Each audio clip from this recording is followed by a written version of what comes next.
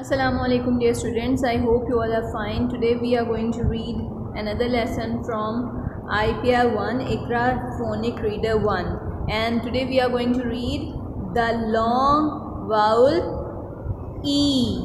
Yes and what is its sound? Its sound is E. So let's start reading and we are going to open our book at page number 27 yes you have to open your book at page number 27 and we are going to read the long vowel e.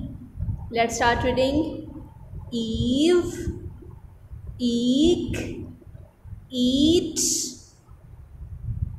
leaf beat neat one more time.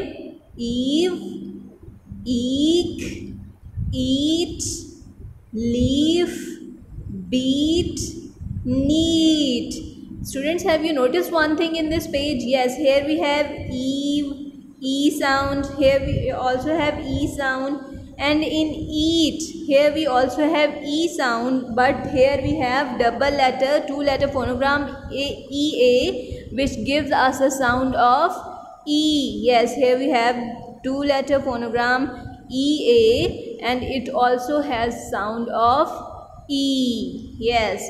Here we also have two letter phonogram EA which gives us a sound of long E which is E. Here we had double letter phonogram E and its sound is also E.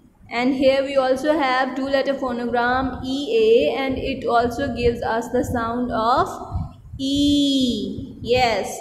Now look at, uh, let's start reading next one. Eve and Eek meet.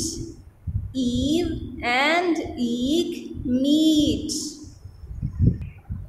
Okay, let's start reading. Eve has a carrot to eat. Eve has a carrot to eat. And whose name is Eve? Yes, he is Eve and he has a cat carrot to eat.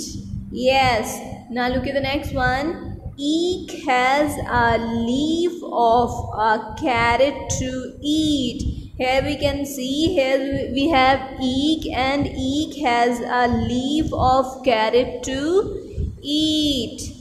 Eek has a leaf of a carrot to eat. Let's read next one.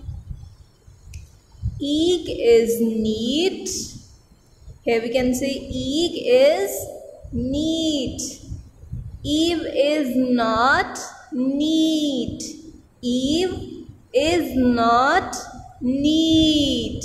Yes, students, you also have to read this these two pages for five time and you have to do good learning and uh, revise this lesson. You also have to keep memorizing your uh, single letter phonogram as well as your double letter phonogram because they, they are very important if you want to uh, learn how to read. Is that clear? So note down your diary and you have to read page number 27 and 28 for five times at home okay? Note down your diary now.